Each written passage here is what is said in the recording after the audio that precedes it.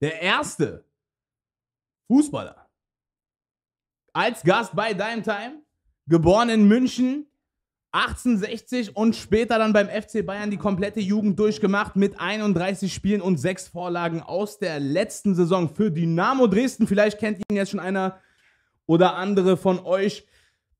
Frisch aus dem Malle-Urlaub zurück. Jonathan Meyer. Welcome, welcome. Ey, neue Welt für mich, diese Discord, Miscord, ey, Jungs. so, nochmal ein herzliches Welcome, welcome an äh, Joni. Joni, hast du ein bisschen äh, gehört, wie ich dich angeteasert habe?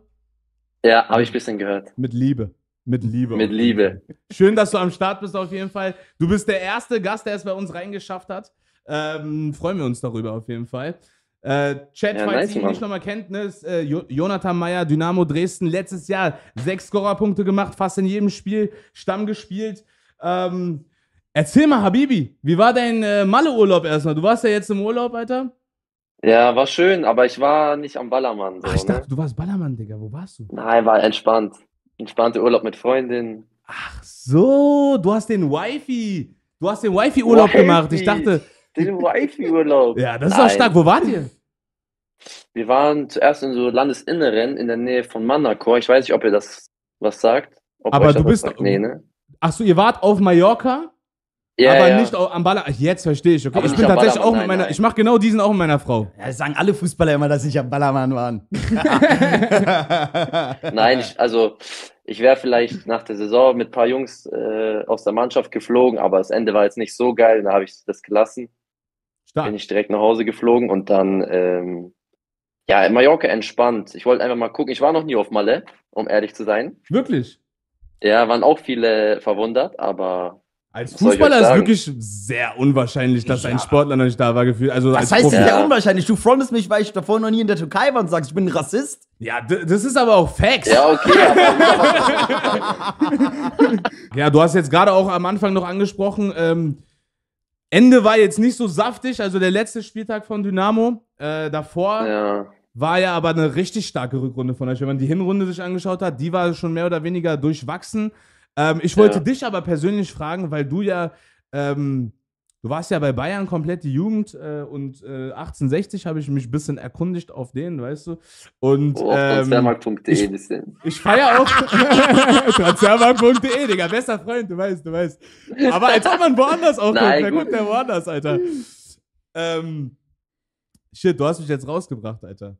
Äh, du warst äh, schon mal bei Dynamo. Das wollte ich sagen. Ich war schon mal bei Dynamo, genau. Du warst schon mal bei Dynamo. Damals waren die auch dritte Liga. Ihr seid da damals direkt aufgestiegen als erster Platz oder zweiter Platz, habe ich gesehen. Ja.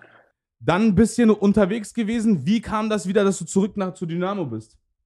Äh, also ich war, wann war das? 2021 Saison, glaube als wir aufgestiegen sind mit Dynamo. Yes. Und dann wollte ich, das, also es war nur eine Laie und ich wollte eigentlich dann nochmal bei Dynamo bleiben. Das nächste Jahr. Mm, dann ging es aber so ein bisschen darum, äh, da müsste ich nochmal einen Vertrag verlängern bei Mainz, weil ich war ja zu dem Zeitpunkt noch bei Mainz fest. Mhm. Von, von und Bayern so, zu Mainz, ne? Genau, genau. Aber ich war fest bei Mainz, also zu dem Zeitpunkt.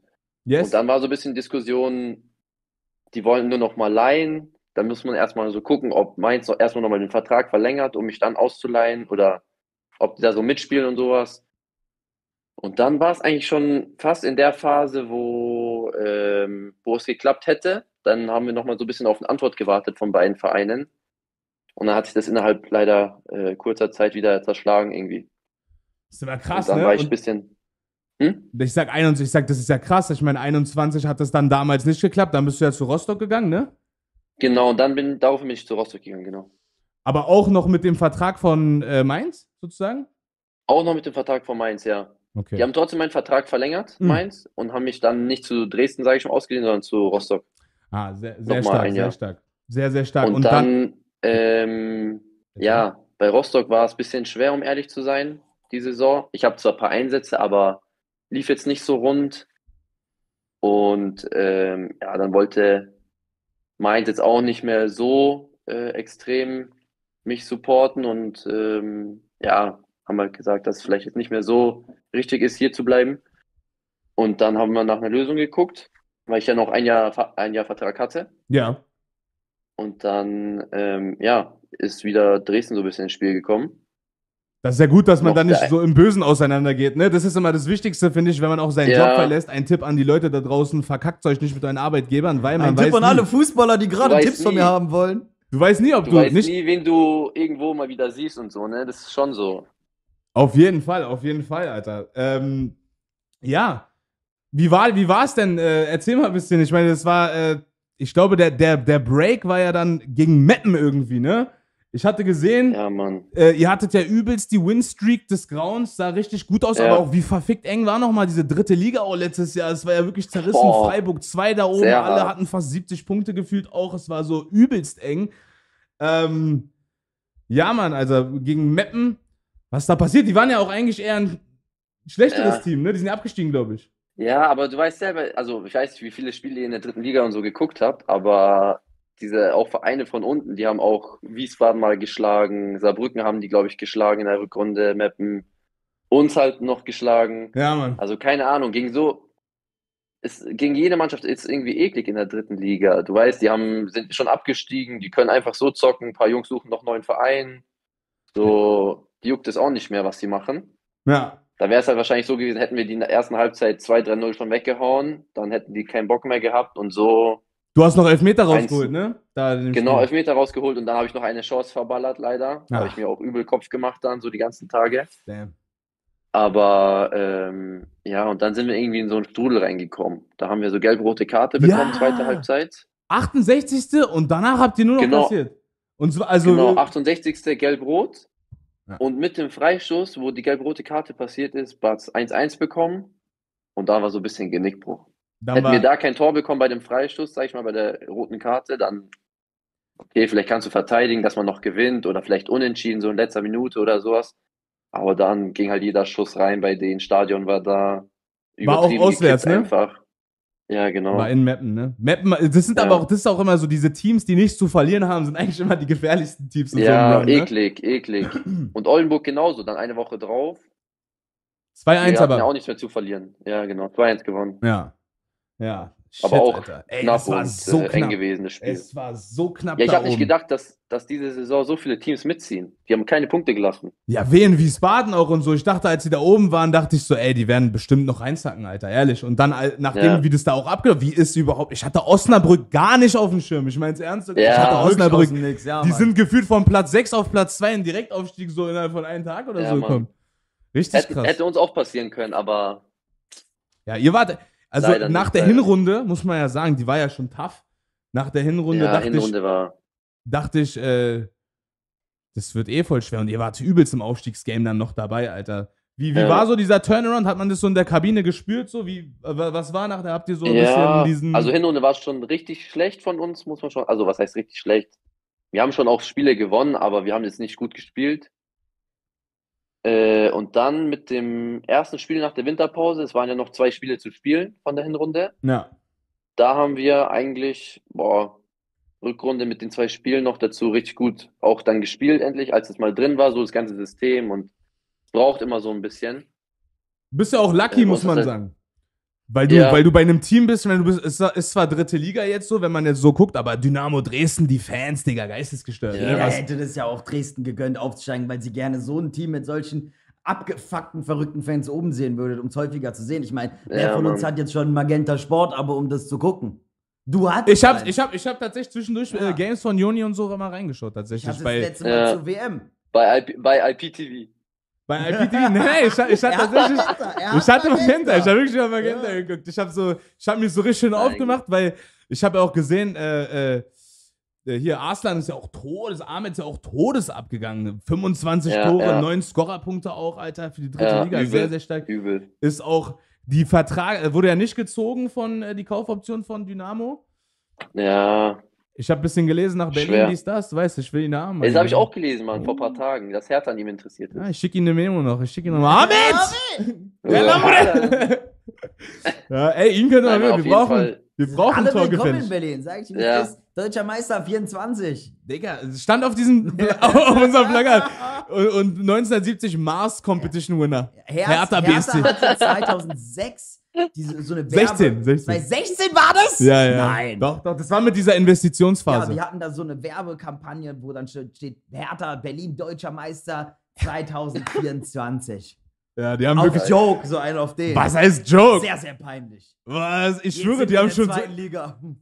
das hat auch, als ich, Kai- als ich Kai Bernstein Abi getroffen habe und mal ein bisschen mit, er meinte, das Wichtigste für ihn ist, dass dieses so, so, dieses Zukunft von Berlin-Ding wegkommt. Weil wir hatten ja so eine Zeit lang Zukunft von Ja. Berlin, Zukunft von Berlin. Und Digga, Ja. wenn du so etwas so sagst, gefühlt, ne, dann passiert eher das Gegenteil, dann wurde halt Union die Zukunft gerade. Ja, und es, Es ist halt noch Union, ne? Ja. Was sagst du über Union, äh, Joni? Na, weiß ich.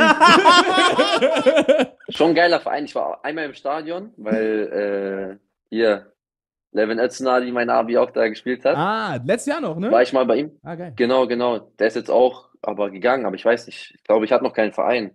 Der erste, der erste Vereinslos, glaube ich. Aber Levin war Ja, bei Mainz auch. Stimmt, ihr kennt euch von Mainz. genau, dann, ne? genau, von Mainz. Ah, stark. aber ich, stark. also ich habe jetzt nicht so viele Spiele verfolgt, aber er hat auch sehr wenig gespielt, glaube Ja, ich, ja. ne? Übelst, übelst, ja. Leider. Bei äh, Union, obwohl er eigentlich übertrieben guter Kicker ist.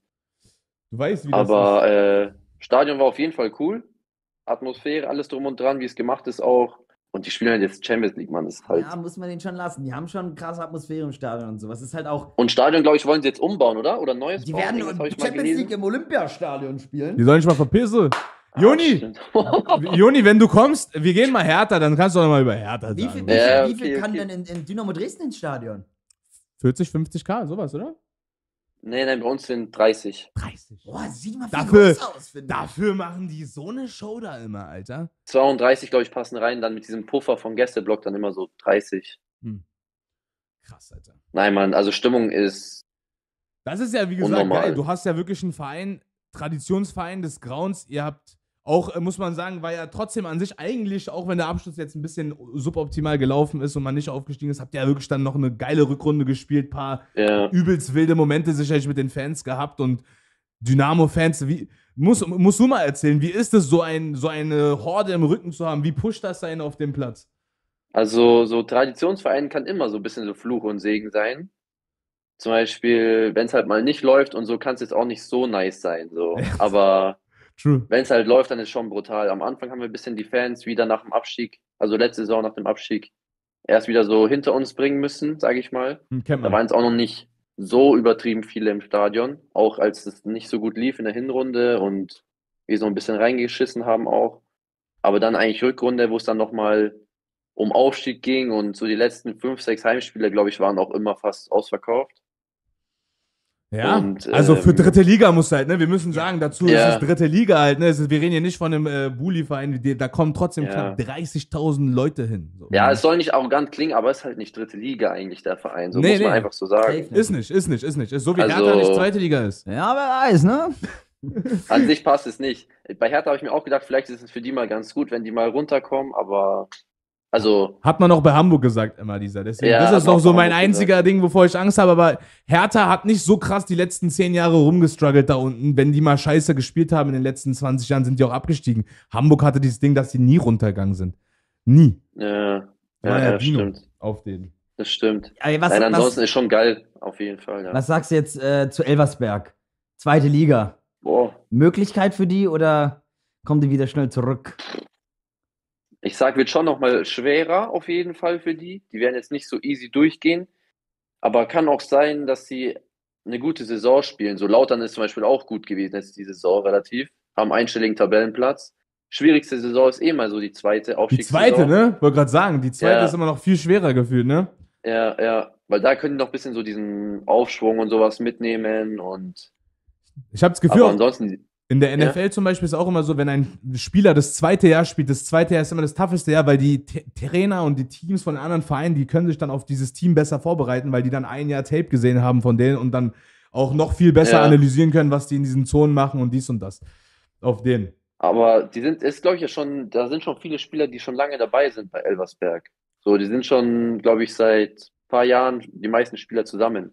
Die sind mit, krass durchmarschiert, äh, ne? Ja, die sind ja auch Meister Ja. geworden. Ich habe mit Mainz 2 noch gegen die gespielt in der Regio. Damals Krass. ein paar Spiele gemacht. Zwei- Ja, Ich habe auch sogar heute Videos von dir gesehen, äh, Joni, von Tape von ein bisschen früher noch, von äh, mit Bayern. Ich guck so äh, Interview und äh, dies und das und ich, du weißt bestimmt welches Interview direkt, oder? ja, ja. Äh, man sieht so Ribery und so im Hintergrund. Tschüss, das ist ja, ein ey, Flex, man Digga. Das sieht peinlich. Aber trotzdem. ne? Trotzdem Flex. Digga, du ja. warst schon wirklich in dieser Prime-Bayern-Phase auch bei Bayern da, ne? Das darf man ja. nicht vergessen, Alter. Aber ich war nicht, ich war nicht in diesem Film mit äh, so einer Flex und hier, ich poste 100 Bilder mit denen und so, weißt aber. Also, das ist ja auch besser, also, wenn man sich ein bisschen. Ich finde es ja, eh bei dir so. geil, als Münchner Junge, äh, äh, erstmal, dass du keinen Dialekt hast des Grauens, ist schon mal sehr stark. Erstmal ein W in den Chat für Joni, dass er hier nicht reicht und sagt, oh moin, Come on, Digga, bayerischer Dialekt so hart ist schon top-notch ja, anstrengend. Ja, natürlich. Top-notch anstrengend. Und er redet Hochdeutsch. Aber gibt schon, gibt schon anstrengendere, bin ich dir ehrlich. Was ist der Schlimmste für dich? Boah. Wir haben heute noch darüber ich meine, gesprochen. Er ist, er ist doch jetzt in Dresden, die reden doch sächsisch in das Dresden. Das ist doch auch schon die so was anderes. Das ist ja auch schon so ein bisschen...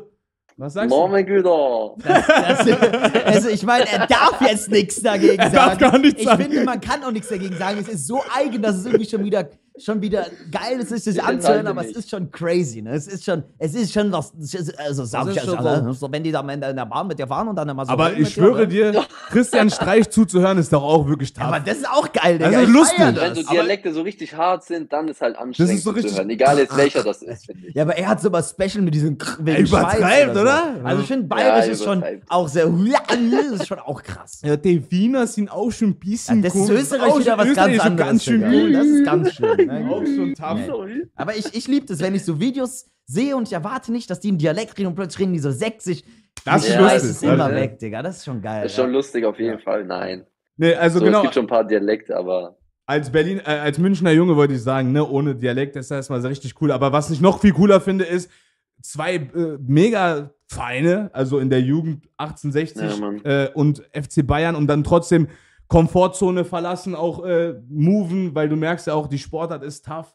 Ich meine, du hast ja, ja, wirklich mit den, also ich glaube, mehr Konkurrenz als FC Bayern geht ja wirklich gar nicht in ganz Deutschland. Das ist ja so, wie wenn du bei FC Barca in der Jugend bist, so.